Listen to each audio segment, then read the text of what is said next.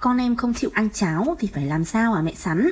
Nếu một ngày con của mọi người đang ăn cháo rất tốt mà tự nhiên lại thấy chán ăn, bỏ ăn hay thổi phì phì ra hoặc là ngậm không nuốt thì rất có thể có hai khả năng. Một đó là con đang đau lợi mọc răng không ăn được. Thông thường thì sẽ mất vài ngày hoặc là cả tuần, thậm chí lên đến 10 ngày luôn.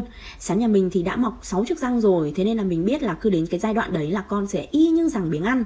Lúc này thì các mẹ hãy nên bình tĩnh thôi, con không muốn ăn thì thôi các mẹ dẹp đi, đừng ép con ăn, sẽ gây ra những cái tác dụng ngược ấy ví dụ như là biếng ăn tâm lý này là con sẽ không ăn, nó sẽ không hấp thụ được nữa và khiến con bị còi. Những lúc mà con đau lợi mọc răng thì mẹ hãy cho con ăn đồ mềm mềm và dành thời gian nghỉ vài hôm. Sau thời gian này thì con sẽ ăn lại thôi mà.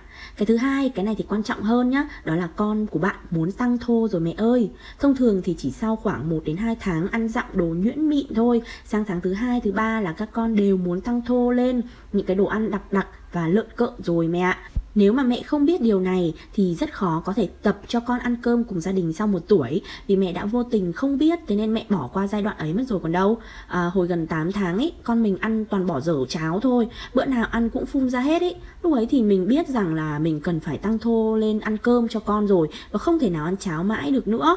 Thế rồi mình mới bắt đầu nghiên cứu làm cơm nát Cơm nát thì mình nấu theo tỷ lệ 1-3 Mình nấu trong cái nồi be nhá Ăn ngon cực các mẹ ạ và khi mà bắt đầu ăn cơm ấy thì con mình hợp tác cực luôn và không thổi phì nữa. Đấy đó chính là cái lý do mà con đang ăn cháo mà tự nhiên con không ăn nữa đấy các mẹ.